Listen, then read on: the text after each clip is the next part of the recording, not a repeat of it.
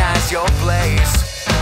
Off the charts, close enough, in the name of change. Got nothing to hide, so chin high.